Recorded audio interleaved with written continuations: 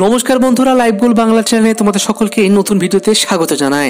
ভারতের আদি শিক্ষক, দার্শনিক, অর্থনীতিবিদ আইনজ্ঞ রাজকীয় উপদেষ্টা, ঐতিহ্যগতভাবে ইনি কৌটিল্য নামেই পরিচিত। বিষ্ণুগুপ্ত নামেও তাকে সম্বোধন করা হয়। প্রাচীন ভারতের রাজনৈতিক গ্রন্থ ও অর্থশাস্ত্রের লেখক ইনি। সাড়ে তিনশো থেকে দুশো তিরাশি বিসি পর্যন্ত ভারতে ইনি ছিলেন সেই সময়ের শ্রেষ্ঠ উপদেষ্টা, লেখক এবং রাজনীতিবিদ। তার শ্রেষ্ঠত্ব এমনই যে বর্তমান সময়েও তার আদর্শিত নীতির অনুকরণ ও অনুসরণ দুই করা হয়। চাণক্য নীতিতেই জীবনে জীবনের দর্শন করতে পারলে জীবনের পথ সুগম হবে। বেগ পেলেও উপায়ও পাওয়া যায়। চাণক্যের নীতি পাঠশালা থেকে এমন কয়েকটি গুরুত্বপূর্ণ অধ্যায় তুলে আনা হয়েছে আজকের ভিডিওতে, যা আপনার জীবনের সুখের চাবিকাঠি হতে পারে।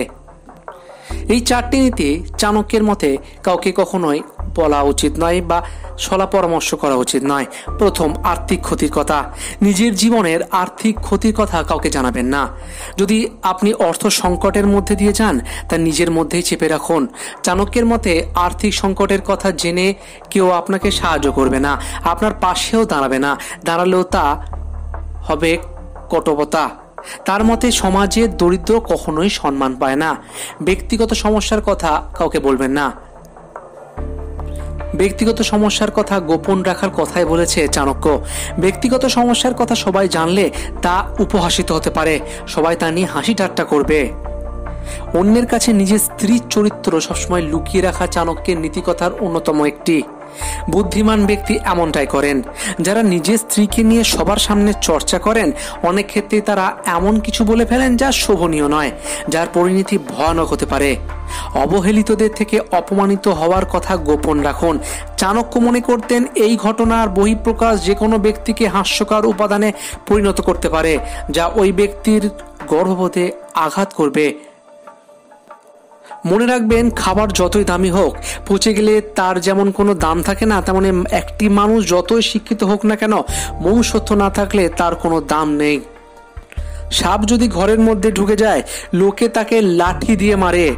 যদি সেই সাপ মন্দিরে থাকে, তাকে শিবলিঙ্গের ওপরে মানুষ দেখতে পায়, তখন তাকে পুজো করে দুধ খাওয়ায়। সুতরাং লোকে তোমাকে সমান সম্মান এমনি করবে না।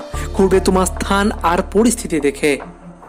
আর একটি কথা সর্বদা মাথায় রাখবেন, জ্ঞানী সে নয় যে সমস্যা থেকে দূরে পালানোর চেষ্টা করবে, বরং সে যে সমস্যাটিকে গোড়া থেকে মেটানোর চেষ্টা করবে, সেই হবে প্রকৃত জ্ঞানী। ভিডিওটি ভালো লাগলে অবশ্যই লাইক করে দিন। আজকের ভিডিওতে আপনাদের কাছে আমার অনুরোধ, একশোটা লাইক অবশ্যই করে দিন। আপনার একটা লাইক আমাকে পরবর্তী ভিডিও বানাতে আলাদা মোটিভেশন বানিয়ে দেয়। ভালো থাকুন, সুস্থ থাকুন। আর চাণক্যের নীতিগুলি অবশ্যই মেনে চলুন।